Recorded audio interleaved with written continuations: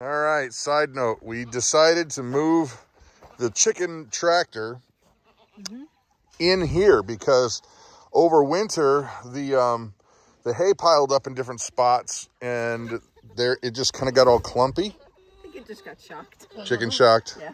Yeah, but um we decided oh they, we got to clip some wings. Yes, we will clip their wings. Don't worry. But oh, they found the ch- They found- they found the electric.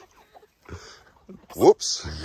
Whoopsie daisy. Don't touch that. That one's always trying to go for that flower is what it is. Yeah, funny. But yeah, no, they'll come in here and scritch and scratch around and the squares there on the fence, Uh-oh. they're tight enough where I didn't think of that. it's open over there. No, it is. That's good.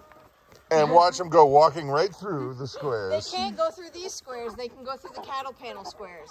What we need to do is flip that one upside There's down over so they can't. Well, or we've got ah. more squares. Phooey.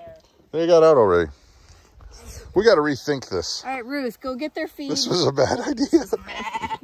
Apparently, they can fit directly right through the squares. oh boy. Okay, we got to wrangle them up and get them back in. No, no, no. Go that way. Go that way. Go that way. Go that way. Come on. Come on, chickies.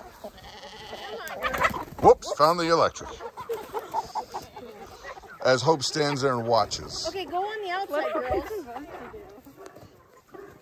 Meanwhile, the sheep are over here enjoying the show, aren't you? Oh, don't eat my, don't eat my shirt, bro. That's Buddy. Right there. Yeah. They want to know what in the world is going on here. Well, not all of our ideas work out. Yeah. Yeah. Tell- 30, 30 chickens. Yeah.